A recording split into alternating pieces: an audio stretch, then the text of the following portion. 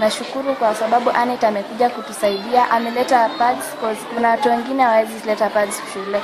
Kuna watu wametusaidia sana, kuna watu wengine huwa wanatumia towels, wanatumia nini, but ametusaidia, itapunguza sana gharama kwa wazazi na itapunguza sana kila kitu kwa wazazi. Nashukuru Anet. Ani napenda sana Anet as in my, kama rafiki yangu, namshukuru sana sana sana. Today I'm happy because we have known much about hygiene, like washing our hands. It is good to wash hands before eating because it is important when one don't wash hand before eating, one may get cholera and other diseases. We have known much about caring for our nails. I thought keeping nails was to be will make it as beautiful, but today I've known it. Our nails should be short always and clean. What we do is provide sanitary towels for the girls and tissue papers in order to ensure their hygiene. This came up after we realized that most of them were using some uncouth means such as blankets, some were using mattresses and accessible papers because they didn't have the means of getting what they need to use.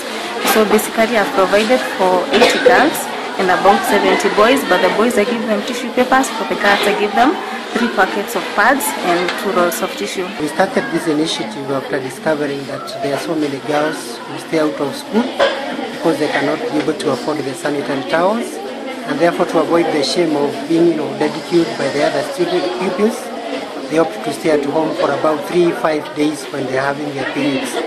So we came up with the organization Restore Her Dignity try what we can to be able to assist the needy girls and girls who are in school so that we can make sure they stay in school so that they can also be able to continue with their studies without any interruption, which will impact very positively in their studies and of course in their future life, whereby they'll be able to achieve very well in their academic performance. And we're grateful for the people that have supported us, and we are praying that there are many, many people that are going to come on board and who are also going to support us in this project. quite uh, grateful to this uh, Restore Her Dignity Foundation and uh, this girl Annette who thought about our school because most of our pupils come from vulnerable backgrounds.